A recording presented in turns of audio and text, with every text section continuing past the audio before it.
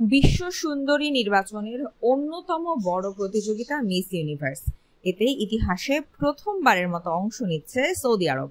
সাতাশ বছর বয়সী Saudi model Rumi Al Qahtani অংশ নিতে যাচ্ছেন এতে। সংবাদ মাধ্যম আল অ্যারাবিয়াতে এই খবর প্রকাশ করা হয়েছে।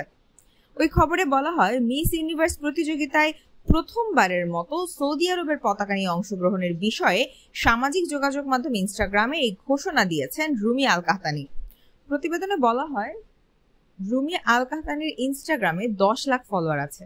সোমবার ইনস্টাগ্রাম পোস্টে তিনি জানিয়েছেন মিস ইউনিভার্স দু হাজার চব্বিশ প্রতিযোগিতায় সৌদি আরবের প্রতিনিধি হিসেবে অংশগ্রহণ করার সুযোগ পেয়ে তিনি সম্মানিত বোধ করছেন। আর এর মাধ্যমে বিশ্বের শীর্ষ এই প্রতিযোগিতায় সৌদি আরব প্রথমবারের মতো অংশ নিতে যাচ্ছে।